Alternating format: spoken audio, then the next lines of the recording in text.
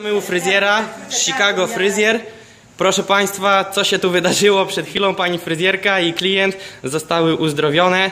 Yy, może Pani powie pierwsza, co się wydarzyło? Tu mnie bolało w tym, ten palec, tutaj w tym miejscu, Mhm. kciuk, czy jak się nazywa? Tak. A po, po modlitwie, po tego teraz mnie nie boli. Przyszła Pani z bólem. Tak, Przyszła Pani z bólem i ból odszedł i może Pani teraz ruszać bez bólu. tak. Ja sam potwierdzam, że przyszła Pani z bólem i nie mogła Pani spokojnie ruszać, a teraz zadam pytanie, co się z Panią działo? Co się zdarzyło? Lepszy słuch Lepszy słuch, a z ramieniem? bardzo poprawiło mi się ręka. Nie boli, prawdzie nie boli. A co miała Pani, w- co, co, co Miałam Pani dziewięć wstrzy... blokad, 9 blokad. drętwienie, bardzo mięśnie bola, bolało mnie, bardzo, bardzo. I teraz naprawdę jest, no my God. To jest nie do- mogłam się ucieszać. Ja Jesteśmy, nie mogłam tu jesteśmy świadkami dzisiaj tego, że Bóg jest żywy i realny. Amen. Amen.